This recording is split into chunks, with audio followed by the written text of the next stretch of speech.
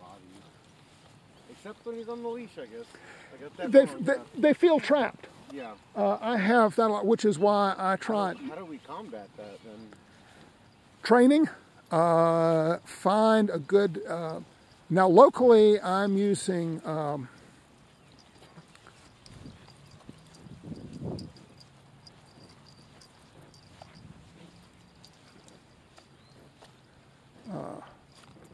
I try. I'm trying. I don't know who in Spartanburg because this would be a long drive for you. So everybody I know is here or in Asheville.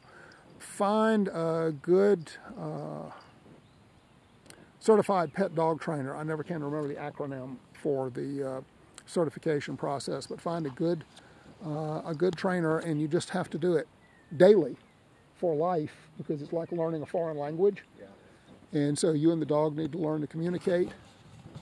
We didn't do any of that with our dogs, and I regret it. The next time my husband and I get dogs, we're doing all the obedience training and Yeah. all of that. We wanted to get him obedience training because it's only like a few hundred dollars.